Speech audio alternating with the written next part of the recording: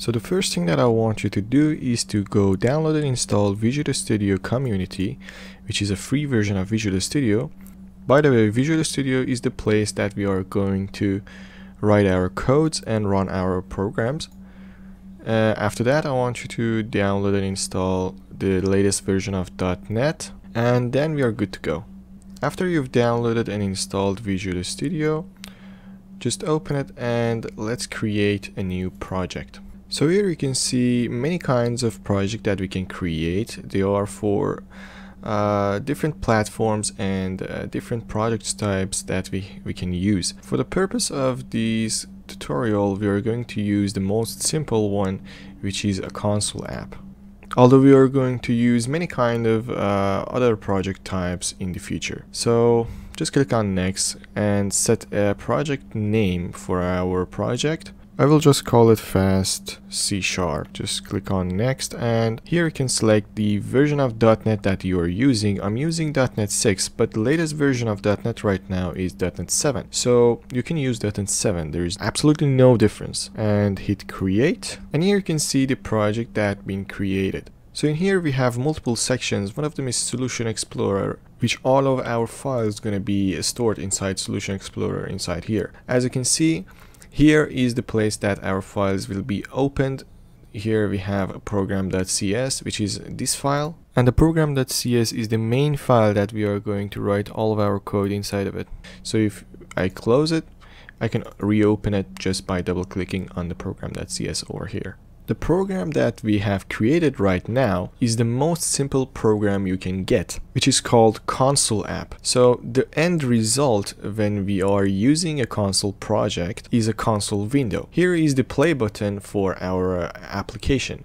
If I click on it, our application would be executed. There is no other window besides this console window and any code that we write, the result will be shown inside this console window. And it does not have a graphical interface. Alright, now let's go back to the code and let's see what these two lines of code means. So first let me tell you that anything that we want to write inside our application must have a meaning to the C sharp.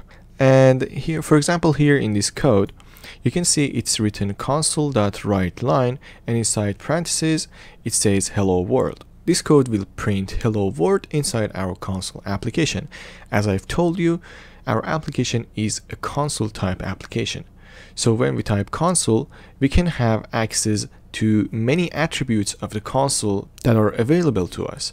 For example, the background color of the console, or we can write a line inside the console as it has been done here. The other line that we have here is a comment. It's not a code, but a comment that will not be executed when we are executing our application. It's just to help the other people that will come and read our code. Or maybe for ourselves, we can write a memo so we can check this code out later. So we don't need this line right now and I will remove it. And since this line has been written from the project template, let's remove this line as well and write it again ourselves. So the thing that we want to do, we want to print a hello world text inside our console. Now, what we need to do is first access our console by typing console. As you can see here, there is a window that when I'm typing something, it will suggest the similar keywords that the Visual Studio and C Sharp recognize and we can use them to write our programs. Here, we just want to access the console. Now that we have our console, we want to change or use some of its attributes. And in order to access the attributes of the console, we can use a dot. And here are all of the attributes of the console. The attribute that we want to access is either write or write line. I will tell you the difference after we wrote the code. Let's just use the write command for now. And to tell it what we want to write inside the console, we need to open up and close two parentheses. So inside the parentheses, we need to put our text inside double quotations in order for C Sharp to know that the text is not an executable code. So just set a double quotation and inside our double quote we can write anything we want.